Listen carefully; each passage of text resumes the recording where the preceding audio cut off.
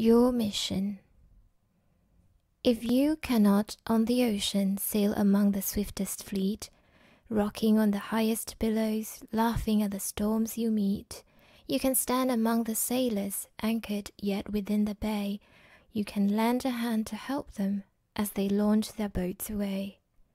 If you are too weak to journey up the mountain, steep and high, you can stand within the valley while the multitudes go by.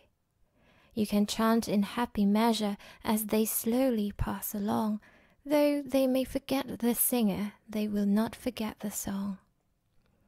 If you have not gold and silver ever ready to command, if you cannot toward the needy reach an ever open hand, you can visit the afflicted, o'er the erring you can weep.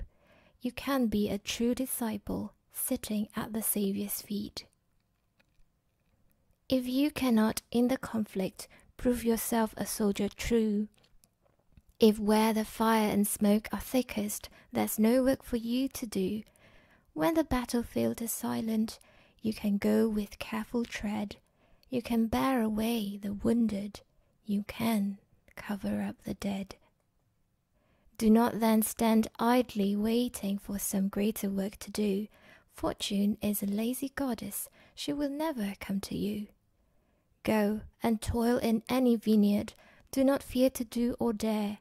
If you want a field of labor, you can find it anywhere.